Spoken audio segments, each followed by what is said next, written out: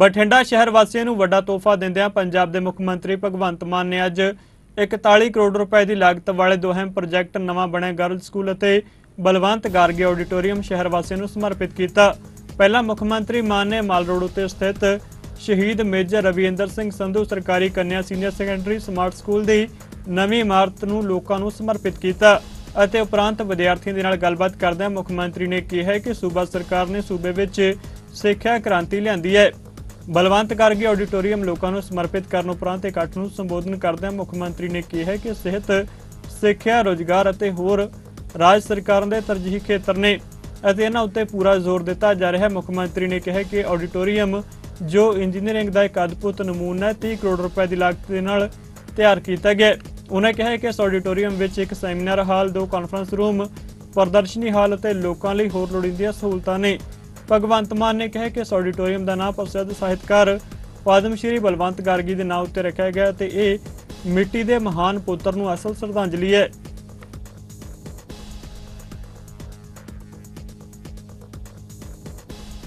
ਅੱਜ ਬਠਿੰਡਾ ਦੇ ਵਿੱਚ ਦੋ ਇਸ ਤਰ੍ਹਾਂ ਦੇ ਫੰਕਸ਼ਨ ਸੀਗੇ। ਜਿਹਦੇ ਵਿੱਚੋਂ ਇੱਕ ਤਾਂ ਸੀਨੀਅਰ ਸੈਕੰਡਰੀ ਸਕੂਲ ਲੜਕੀਆਂ ਜਿਹੜਾ ਕਿ ਮਾਲ ਰੋਡ ਤੇ ਹੈ, ਬੜੀ ਖਸਤਾ ਹਾਲਤ ਦੇ ਵਿੱਚ ਸੀ ਪਹਿਲਾਂ, ਦੋ ਸ਼ਿਫਟਾਂ ਚੱਲਦਾ ਸੀ। ਕਿਉਂਕਿ 2200 ਲੜਕੀਆਂ ਉੱਥੇ ਪੜ੍ਹਦੀਆਂ, ਆਲੇ ਦੁਆਲੇ ਦੇ ਪਿੰਡਾਂ ਤੋਂ, ਬਸਤੀਆਂ ਚੋਂ, ਮੁਹੱਲਿਆਂ ਚੋਂ ਬੱਚੇ ਉੱਥੇ ਆਉਂਦੇ ਸੀ। ਸ਼ਾਮ ਵਾਲੀ ਸ਼ਿਫਟ ਜਿਹੜੀ ਹੈ ਖਾਸ ਤੌਰ ਤੇ ਸਰਦੀਆਂ 'ਚ, ਉਹਦੇ ਵਾਸਤੇ ਮਾਪਿਆਂ ਨੂੰ ਫਿਕਰ ਲੱਗੀ ਰਹਿੰਦੀ ਸੀ। ਹਨੇਰਾ ਹੋ ਜਾਂਦਾ ਸੀ ਜਲਦੀ। ਤਾਂ ਜਦੋਂ ਸਾਨੂੰ ਇਸ ਗੱਲ ਦਾ ਪਤਾ ਲੱਗਿਆ, ਤਾਂ ਮਾਨਯੋਗ ਅਰਵਿੰਦ ਕੇਜਰੀਵਾਲ ਜੀ, ਜਿਨ੍ਹਾਂ ਨੇ ਦਿੱਲੀ ਦੇ ਵਿੱਚ ਸਿੱਖਿਆ ਦਾ ਮਾਡਲ ਜਿਹੜਾ ਉਹ ਤਿਆਰ ਕੀਤਾ ਸੀ ਕਿ ਸਰਕਾਰੀ ਸਕੂਲਾਂ ਨੂੰ ਸ਼ਾਨਦਾਰ ਬਣਾਉਣਾ ਹੈ। ਉਸੇ ਮੰਤਵ ਨੂੰ, ਉਸੇ ਰਸਤੇ ਨੂੰ ਅੱਗੇ ਵਧਾਉਂਦੇ ਹਾਂ ਅਸੀਂ ਪੰਜਾਬ ਦੇ ਵਿੱਚ ਇਹ ਕਰ ਰਹੇ ਹਾਂ ਕਿ ਸਰਕਾਰੀ ਸਕੂਲਾਂ ਨੂੰ ਇਸ ਪੱਧਰ ਦਾ ਬਣਾ ਦੇਣਾ ਕਿ ਲੋਕਾਂ ਦੀ ਮਰਜ਼ੀ ਹੋਊਗੀ। ਪ੍ਰਾਈਵੇਟ ਚ ਪੜਾਉਣਾ ਬੱਚੇ ਨੂੰ ਪ੍ਰਾਈਵੇਟ ਚ ਪੜਾ ਲਓ। ਸਰਕਾਰੀ ਚ ਪੜਾਉਣਾ ਸਰਕਾਰੀ ਚ ਪੜਾ ਲਓ। ਵਿੱਦਿਆ ਦਾ ਪੱਧਰ ਇੱਕੋ ਜਿਹਾ ਹੋਊਗਾ। ਉਧਰ ਫੀਸ ਲੱਗੂਗੀ, ਇਧਰ ਫੀਸ ਵੀ ਨਹੀਂ ਲੱਗਣੀ। ਤਾਂ ਅੱਜ ਮੈਨੂੰ ਖੁਸ਼ੀ ਹੋਈ 73 ਕਮਰੇ ਉੱਥੇ ਬਣ ਗਏ। ਸ਼ਾਨਦਾਰ ਸਕੂਲ ਬਣ ਗਿਆ, ਬੱਚੇ ਬੈਠੇ ਆ ਉਸ ਸਕੂਲ ਦੇ। ਤੇ ਮੈਂ ਕਈ ਕਲਾਸਰੂਮ ਦੇ ਵਿੱਚ ਗਿਆ, ਬਹੁਤ ਸਾਰੇ ਬੱਚੇ ਪ੍ਰਾਈਵੇਟ ਸਕੂਲਾਂ ਚੋਂ ਹਟਾ ਕੇ ਇੱਧਰ ਆ ਗਏ। ਕਈ ਬੱਚਿਆਂ ਨੇ ਮਾਪਿਆਂ ਨੂੰ ਦੱਸਿਆ ਕਿ ਮੈਂ ਉੱਥੇ ਜਾਣਾ। ਕਈ ਮਾਪਿਆਂ ਨੇ ਬੱਚਿਆਂ ਨੂੰ ਕਿਹਾ ਕਿ ਤੁਸੀਂ ਉੱਥੇ ਜਾਣਾ। ਕੋਈ ਇੰਜੀਨੀਅਰ ਦਾ ਬੱਚਾ ਵੀ ਸੀ ਇੱਕ, ਕੋਈ ਮਜ਼ਦੂਰੀ ਕਰਨ ਵਾਲੇ ਲੋਕ ਸੀ ਜਿਹੜੇ ਉਹਨਾਂ ਦੇ ਬੱਚੇ ਵੀ ਸੀਗੇ। ਤੇ ਸ਼ਾਨਦਾਰ ਨਤੀਜੇ ਆ ਰਹੇ ਨੇ। ਮੈਂ ਵਧਾਈਆਂ ਦੇਣੀਆਂ ਚਾਹੁੰਦਾ ਬਠਿੰਡਾ ਖਾਸ ਤੌਰ ਤੇ ਪਹਿਲਾਂ ਇੱਕ ਮਿੱਥ ਬਣੀ ਹੋਈ ਸੀ। ਮਿੱਥ ਬਣੀ ਹੋਈ ਸੀ ਬਠਿੰਡਾ ਕਿ ਬੈਕਵਰਡ ਇਲਾਕਾ ਹੈ ਜਾਂ ਇੱਥੇ ਉਹ ਸਹੂਲਤਾਂ ਨਹੀਂ ਹੈਗੀਆਂ। ਪਰ ਅਸੀਂ ਇਹ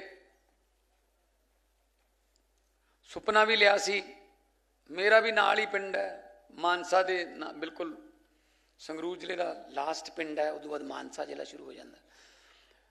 ਵੀ ਨਹੀਂ, ਬਠਿੰਡਾ ਕਿਸੇ ਗੱਲੋਂ ਘੱਟ ਨਹੀਂ ਹੈਗਾ ਟੈਲੈਂਟ 'ਚ ਕੋਈ ਕਮੀ ਨਹੀਂ, ਸਿਰਫ ਇਨਫਰਾਸਟ੍ਰਕਚਰ ਦੀ ਜਾਂ ਥੋੜੀ ਜਿਹੀ ਇੱਛਾ ਸ਼ਕਤੀ ਦੀ ਕਮੀ ਹੈ।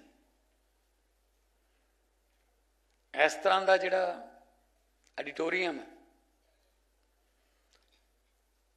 ਮੈਂ ਕਲਾਕਾਰ ਦੇ ਤੌਰ ਤੇ ਪੂਰੀ ਦੁਨੀਆ ਦੇ ਵਿੱਚ ਗਿਆ। ਬਲਕਾਰ ਸਿੱਧੂ ਜੀ ਬੈਠੇ ਹੈ ਬਹੁਤ ਵਾਰੀ ਇਹਨਾਂ ਨੇ ਦੁਨੀਆ ਭਰ ਚ ਸ਼ੋਅ ਕੀਤੇ ਹੋਣਗੇ।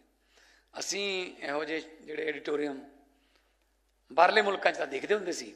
ਅਸੀਂ ਆਪ ਵੀ ਉੱਥੇ ਜਦੋਂ ਆਟੋਮੈਟਿਕ ਪਰਦੇ ਖੁੱਲਦੇ ਸੀ ਲਾਈਟਿੰਗ ਹੁੰਦੀ ਸੀ, ਇਸ ਤਰ੍ਹਾਂ ਦੀ ਸਟੇਜ ਤੇ ਅਸੀਂ ਪਰਫਾਰਮ ਕਰਦੇ ਸੀ। ਤਾਂ ਸੋਚਦਾ ਹੁੰਦਾ ਸੀ ਮੈਂ ਵੀ, ਯਾਰ ਸਾਡੇ ਵੀ ਹੋ ਜਾਣਗੇ ਕਦੇ ਇਦਾਂ ਕੀ ਪਤਾ ਸੀ ਪ੍ਰਮਾਤਮਾ ਨੇ ਮੇਰੇ ਹੱਥੋਂ ਹੀ ਲਿਖੇ ਹੋਏ ਨੇ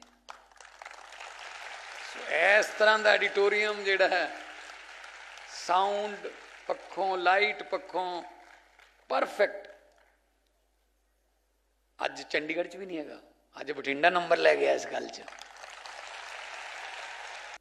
ਨਾਲ ਨਾਲ ਇਸ ਕੱਲਾ ਇਹ ਐਡੀਟੋਰੀਅਮ ਨਹੀਂ ਕਾਨਫਰੰਸ ਹਾਲ ਵੀ ਹੈ।